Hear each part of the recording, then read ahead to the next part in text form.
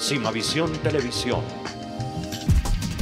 La Secretaría de Educación se puso una vez más las pilas en la temporada de matrículas para el año 2017, y a pesar de que el día 28 de octubre se acabaron las inscripciones, matrículas y demás trámites a nivel colegio, la Secretaría habilitó otros medios para continuar con el proceso. Marta Morales, secretaria académica del Colegio Campestre Monteverde, nos explicó cómo son estas nuevas alternativas, al igual que los requisitos y otros datos de las matrículas. La Secretaría de Educación, pensando en esto, va a habilitar el primero de noviembre nuevamente en la página la opción de agendar cita con la dirección local y allá ellos les van a colaborar.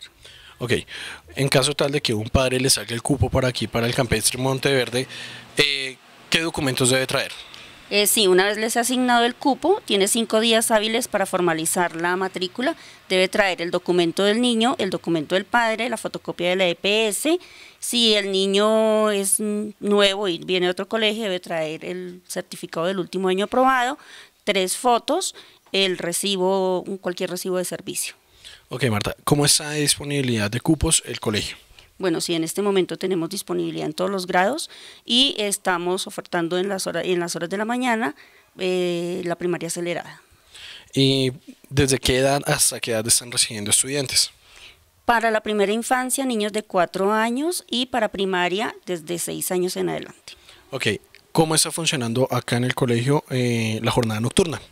La jornada nocturna tiene ciclos, el ciclo 2 es para validación de primaria el ciclo, ciclo 3 para 6 y 7, el ciclo 4 para octavo noveno, ciclo 5 es décimo y ciclo 6 es 11. Ok, si una persona quisiera venir a cursar en la jornada nocturna, ¿cuáles son los requisitos mínimos y qué documentos debe traer?